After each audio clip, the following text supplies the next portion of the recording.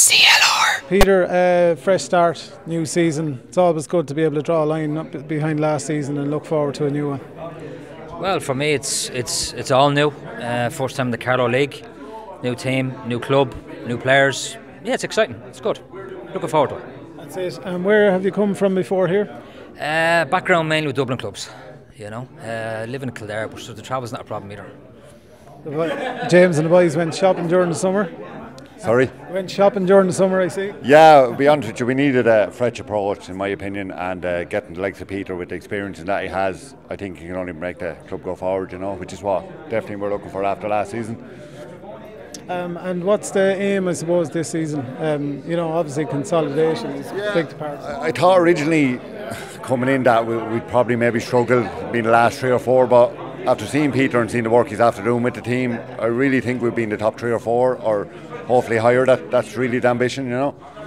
Peter, what's your plan to get the lads to that level? Because it's a huge competition in Carlow, particularly the top three teams. Well, it's always going to be competitive. You know, uh, mindset's important.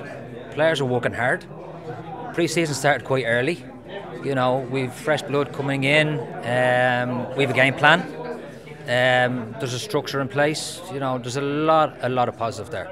So we'll get stuck in, keep doing it, and fingers crossed it'll come right at the end of the day. How is in terms of players this year, in and out?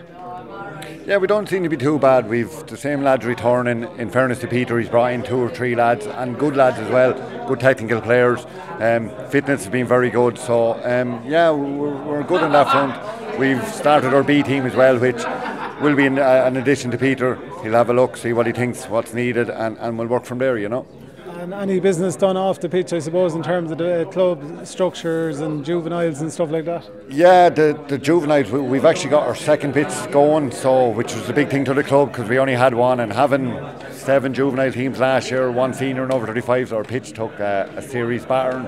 So this year to have the second pitch, which, if anyone knows our pitch, it's very narrow. So having the new one, which is wider, which will suit Peter's style of play, all this will be a bonus touch for the season. So um, it's all looking up and, and forward, and uh, we're looking at we've plans in place and all for the dressing rooms. So touch wood, that all goes ahead, and in, in, six, seven months' time, hopefully we'll have facilities down there as well. So looking positive for the future. Absolutely, no pressure, Peter. None whatsoever. No, no, no. It's easy peasy. A walk in the park.